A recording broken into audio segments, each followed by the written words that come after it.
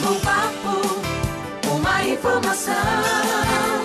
Entrevista Difusora 95.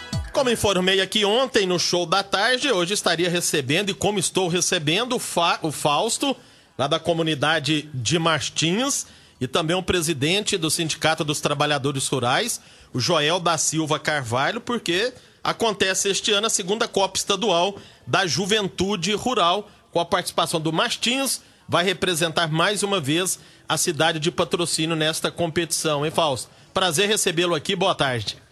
Boa tarde, Cristiano. Boa tarde, Joel. É um prazer mais uma vez a gente estar aqui nessa emissora tão querida, né, que a gente tem um respeito muito grande, né, e sempre a, as portas estão abertas, né, para divulgar os nossos trabalhos, né, que a gente faz no futebol. Também agradecer nosso vereador Joel, presidente do sindicato, né, por nos confiar né, mais essa missão né, de representar o nosso município. Eu acho que agora, né, independente se é Martins, eu acho que todo mundo tem que pensar é, num todo, é patrocínio, é o município todo representando o nosso sindicato. Isso é o que vai importar, né, porque vai envolver jogador de todas as comunidades também. Ok. Ô Joel, é um prazer recebê-lo aqui pela primeira vez, né, ao vivo aqui no nosso show da tarde. Boa tarde. Boa tarde, Cristiano. Boa tarde a todos os ouvintes do Sistema Difusora de Rádio, especialmente ao, ao, programa Show da Tarde, o qual todas as tardes a gente tem a oportunidade de estar trabalhando, mas o radinho estar ligado lá, a gente sempre está ouvindo o sucesso que é o seu programa, Índice de Audiência no Município de Patrocínio, Cidade Meio Rural. E estamos aqui nessa tarde ao lado do nosso companheiro Fausto, nosso diretor é, do time de futebol, ao lado do seu irmão Fábio, né? Então, para nós é um motivo de muita alegria tê-los novamente aí representando os sindicatos trabalhadores rurais de patrocínio é, na segunda Copa é, da Juventude Rural do Estado de Minas Gerais, que está sendo organizada aí novamente pela FETAING, que é a Federação dos Trabalhadores na Agricultura do Estado de Minas Gerais. Tivemos a primeira participação no ano 2017, ainda como presidente do sindicato, nosso companheiro Odilir Magalhães, o qual desenvolveu um grande trabalho aí junto com o Fausto, com o Fábio, com o xerife, chegando a, dar a patrocínio uma posição de destaque no estado de Minas Gerais, com o time dos sindicatos trabalhadores rurais, mas com sua base todinha no, no campeonato rural na comunidade Martins, Corgo Feio. E nesse ano de 2019 estamos aí novamente participando da segunda Copa da Juventude Rural. Tivemos a oportunidade, pelo resultado de 2017, já entrar agora nas oitavas de, de final então foi um processo muito grande para chegar até aqui hoje, desde o mês de abril, maio, que vem rolando aí a Copa da Juventude Rural. Foram mais de 400 times no estado de Minas Gerais e nós entrando aí né, com nos últimos 16 times por cada posição conquistada lá atrás. Então, para nós, Fausto, ter, é, estar participando, né, já chegando nessa posição agora, para nós é um motivo de muita alegria. Saber que a comunidade Martins Corvo Feio nos representou, não o nosso sindicato, mas representou a cidade de patrocínio à altura que a cidade merece, que é uma cidade é, eminentemente agrícola, né? E quando vê a juventude rural participando efetivamente do desenvolvimento sustentável do município de Patrocínio, especialmente do meio rural, para nós é um motivo de muita alegria. Ô Joel, somente sindicatos que são filiados à FETAENG que podem disputar esta competição? Sim, somente sindicatos trabalhadores rurais que sejam filiados e estejam em dia com suas obrigações sindicais com a FETAENG e também com a CONTAG, que é a Confederação dos Trabalhadores na Agricultura do, do Brasil como um todo, né? Mas nós sempre fomos, é, desde o início do nosso sindicato, nós estivemos sempre ao lado da FETAENG, como também ao lado da CONTAG, então isso para nós não é um problema. Né?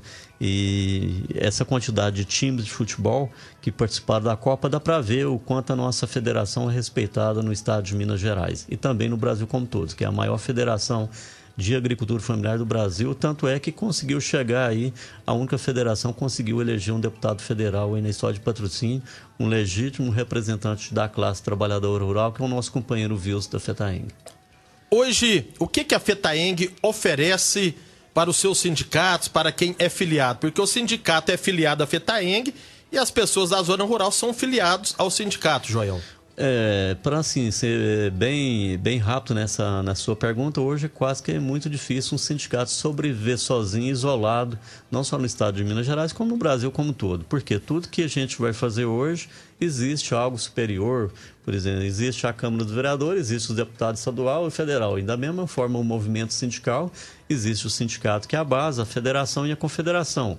Os sindicatos produtores rurais, da mesma forma, tem os sindicatos produtores rurais aqui, no estado tem a FAENG e a nível de Brasil tem a CNA. Então, assim, é, tudo, quase tudo que a gente vai fazer, quem assina os convênios, na verdade, começa em Brasília e vai descendo. Por exemplo, Previdência Social aposentadorias rurais. Então, o sindicato aqui de patrocínio nós fazemos. Mas, primeiro, para a gente fazer, é, o, a assinatura do convênio Anil de Brasil foi feito pela Contag em Brasília, depois foi feita uma parceria com a federação no Estado, e no Estado faz a parceria com o município. Né? Então, assim, é, é uma dependência um do outro. Então, por isso que a gente tem que estar sempre em dia, ser sempre companheiro aí é, dos nossos verdadeiros companheiros, dos nossos verdadeiros parceiros. Ô Fausto, e como que vai ser esta equipe? Já está pronta, manteve-se a base tanto do campeonato rural como também da segunda divisão. Como que é a formação aí do time para este jogo do próximo domingo? É, a base, na verdade, é quase a mesma que foi lá em 2017. Então a gente está mantendo a base né, do Campeonato Rural, que era também mais de 80% da base da segunda divisão.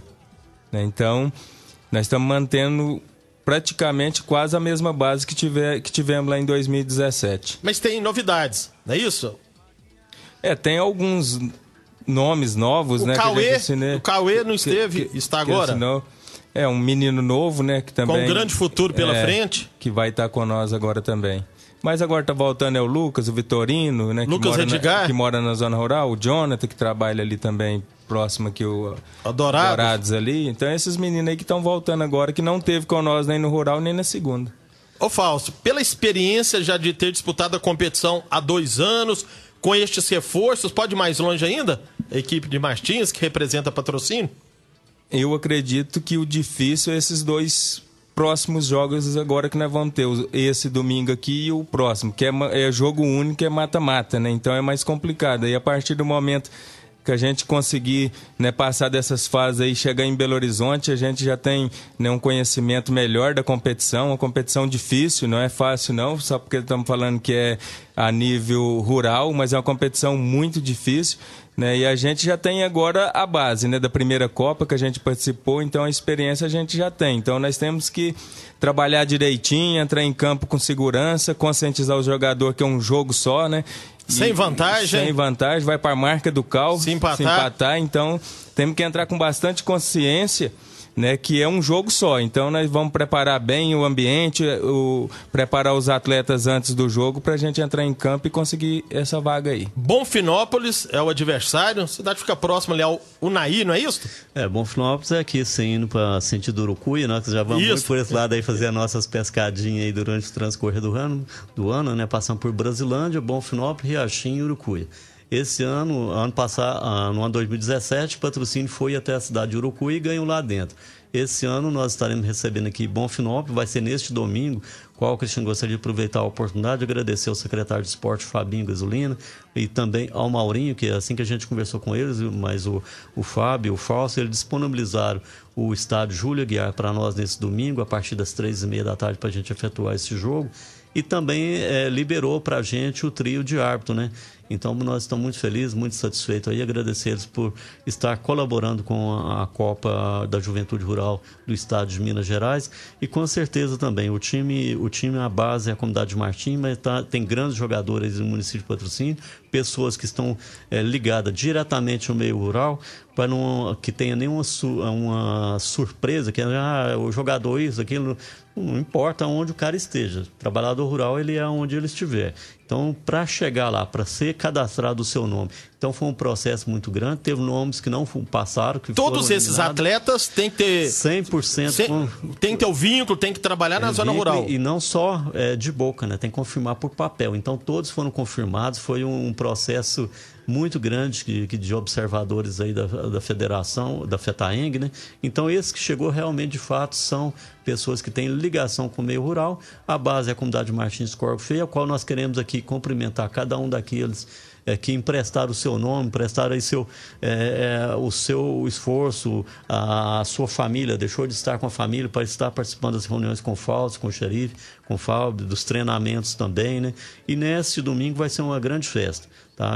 Para nós, eu sempre falei com o Fábio, o, a participação é o mais importante. E até o presente momento, nós temos só que agradecer ao, ao companheiro Fábio, ao Falso, o xerife, usar a experiência que eles têm aí em nome, não do, da comunidade Martins Corfei, que agora, igual o, Falso falou, nós deixamos de ser comunidade Martins, somos patrocínios, sindicatos trabalhadores de patrocínio, e nós vamos levar agora, nós, com certeza, nós acreditamos numa vitória em cima do Bonfinópolis, passando por Bonfinópolis, nós iremos visitar ou Muzambinho, que é no, no sul de Minas Gerais. Terra ou... do Milton. Isso, lá no, em Muzambinho, sul, é, sul de Minas Gerais, né? Aí na, bem lá na pontinha lá, ou próximo ao Espírito Santo, que é a cidade de Araponga. Então, que isso, hein? É, na cerca de 785 quilômetros. Então, patrocínio ganhando aqui, nós vamos ter que viajar, nós vamos para Muzambinho ou nós vamos para Araponga, né? Então, e como Muzambinho é divulgado pelo Milton Neves, hein? O que, que, é, é então, aquilo? Então, então, nós estaremos levando o nome da cidade de patrocínio por lá. E uma coisa, ah, o Cristiano, está sendo muito bem divulgado, não só aqui na cidade de Patrocínio por nós, pelo sistema difusores de rádio, mas o estado de Minas Gerais, desde o mês de maio, tem divulgado o nome da cidade de Patrocínio, que nós já estaremos aí nessas é, oitavas de final aí, e que todo mundo respeitando muito o nosso time pela história que foi feita aí no ano 2017. Passando, Fausto, por estas duas fases, aí chegamos à semifinal. E é mata-mata, jogos aqui em patrocínio, ou vai somente para uma sede? O quadrangular final é no SESI, lá em Belo Horizonte. Ah, sim. Né? É, a estrutura é fantástica, eu fiquei muito admirado. Jogador que for. É outro nível. Questão de, de um campeonato desse aí, se a gente conseguir conquistar, eu acho que fica na história para patrocínio, né, para o sindicato. Né, e para cada jogador que vai também, que a estrutura lá é fantástica, questão de hospedagem, hotel, alimentação. É, e o campo nem se fala, onde que a seleção brasileira já, já treinou, Bélgica, várias seleções do mundo aí já treinou lá já. Né? E a gente já teve essa oportunidade de estar lá. Então nós não podemos perder. Por isso que eu tô que nós vamos colocar né, na preleção. Não podemos perder essa oportunidade de voltar lá de novo e tentar trazer esse título para o patrocínio. Ô Joel, a federação é muito bom, né? Poder organizar estas competições, levar lazer para o seu associado aí durante o ano. É, inclusive, o patrocínio tem participado desde o início, porque até gostaria de deixar aqui uma mensagem de gratidão a toda a nossa diretoria, Conselho Fiscal, a todos eles, sem exceção. E no início do campeonato, nós elegemos aqui um nosso representante direto na Copa da Juventude Rural. Ele tem participado desde o mês de abril em todo o estado de Minas Gerais, que é o nosso companheiro Eduardo Rezende. E local aqui, quem correu atrás foi o nosso companheiro do Conselho Fiscal, nosso companheiro Ediran, que desdobrou aí atrás dessa documentação ao lado do Falso, ao lado é, do Fábio aí, e chegou nesse resultado final, graças a Deus, positivo. E a FETAENG não tem medido esforços no investimento, porque isso nunca foi despesa para a federação. Isso é um investimento na juventude, que é a juventude que vai que toca, né, que é o futuro do nosso estado, é o futuro do nosso patrocínio, é o futuro do nosso Brasil. E a FETAENG tem cumprido seu papel em todos os setores, seja na política agrícola, meio ambiente, na área previdenciária, então todos na área trabalhista e agora principalmente essa bandeira da juventude rural, que é o futuro de, não só do movimento sindical, mas é o futuro de um Brasil sustentável que passa pela nossa juventude. Ok, Falso, queria lhe agradecer. Fica aí o convite para todos, um domingo à tarde, Júlia Guiar, três e meia, mais um momento de lazer, para que a comunidade patrocinense, os desportistas possam ir ao Júlia Guiar e torcer para a cidade de patrocínio neste duelo. Eu que queria agradecer você, Cristiano, né, por nos convidar, por nos dar essa oportunidade aqui nessa emissora, né, que é tão querida por todo o nosso município e região também, né, porque ela vai longe. Né, agradecer também ao nosso companheiro Joel aqui de muito tempo. Agradecer também ao Ordilei Magalhães, que na primeira vez foi ele que nos convidou, nos deu todos os respaldos que nós precisava, né, ele juntamente com a sua diretoria né, daquela época. Então agradecer ao Ordilei também por nos convidar pela primeira vez e agradecer a cada atleta, né, porque eles vão largar a família, nós vamos sair, não vamos ficar muito tempo rodando. Então, né, agradecer a cada um deles, que cada um né, venha domingo consciente do papel que nós temos que empenhar né, dentro de campo. Nosso compromisso é dentro de campo, né? E o Joel né, vai correr o xerife vai comandar dentro das quatro xerife, linhas? O xerife vai comandar junto com a gente. Ele foi da outra vez também. Né, o xerife está com nós Multicampeão. Há, há mais de 10, 10 anos ou 11 anos já com nós. Então, né, é um amigo que nós temos, é um cara que tem muita experiência, tem muitos títulos também. Ele fala que é o maior ganhador né, de todos e os verdade, treinadores. É verdade. Né, então ele tem experiência grande. Né, e agradecer a todo mundo, todas as comunidades, né, todos os conselhos comunitários, né, CMDRE. Né, agradecer a todo mundo por confiar em nós e que a partir de agora o patrocínio né, seja né, esse time dos Martins que representa patrocínios. Todos né, voltem né, e vai para o estádio torcer né, juntamente com nós para a nossa né, passava, passada para as quartas de finais. Ok, muito obrigado, Fausto. Joel, muito obrigado também pela sua presença aqui no nosso show da tarde. Xandro, eu, eu, assim, eu sinto muito honrado de estar aqui participando do seu programa, igual eu te falei, né? Ouço todos os dias. Feliz. Né? Até às vezes eu passo por alguns frangos lá, porque alguns de outras emissoras chegam lá e o rádio está ligado no seu programa aqui. Mas eles entendem, sabe, o, o carinho, a admiração que a gente tem pelo seu programa, né, que é índice de audiência, e não, nos deixa bem informado. Então, eu queria te agradecer por essa oportunidade de estar aqui primeira vez e publicamente, novamente, agradecer a nossa diretoria, nosso conselho fiscal e também a, ao Fausto, ao Fábio novamente, ao xerife, e dizer, Cristiano, que está muito bonito participar dessa Copa, porque o, o, nos bastidores cuidamos nós, o Fausto, o Fábio, né, e tem, a gente tem procurado fazer o mais bem feito possível juntamente com a direção do sindicato. E os jogadores, uma postura realmente admirável, que até hoje nenhum jogador conversou sobre esse assunto. Eles estão preocupados em dentro do campo, juntamente com o xerife, e nós nos preocupando com o lado de fora, com os bastidores do lado de fora. Então isso para nós nos deixa muito, muito alegre, por eles estão honrando esse compromisso que fez aí em nome da cidade de Patrocínio. Ok, muito obrigado. Foi a nossa entrevista aqui no nosso show da tarde desta quarta-feira. Fique o convite. Este domingão, três e meia, estádio Júlia Guiar, segunda Copa Estadual da Juventude Rural, Martins, que representa o Sindicato dos Trabalhadores Rurais, que representa a cidade de patrocínio, contra Bonfinópolis, e o convite para todos marcarem presença.